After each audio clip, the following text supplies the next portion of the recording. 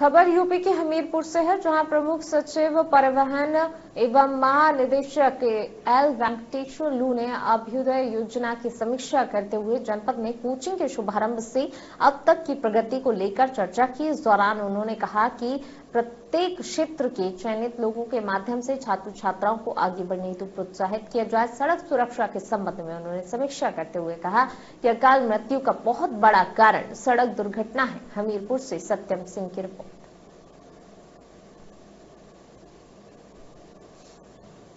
ये क्लास पहले छोड़ दें, दूसरी क्लास को दस मिनट बाद छोड़ दें, ऐसा उसका जो है थोड़ा गैप दिया जा सकता है सेग्रीगेशन हो सकता है उसको।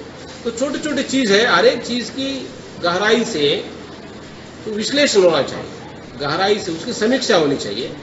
तो उसके आधार पर क्या स्टेप्स लेने से एक्सीडेंट्स कम हो सकते हैं, क्या स्टेप्स लेने से लोगों को तो सुविधा अच्छा रहेगा जो ट्रैफ़िक जाम्स नहीं लगेंगे अनावश्यक रूप से उसका इसकी लोगों की परेशानी नहीं बढ़ेगी।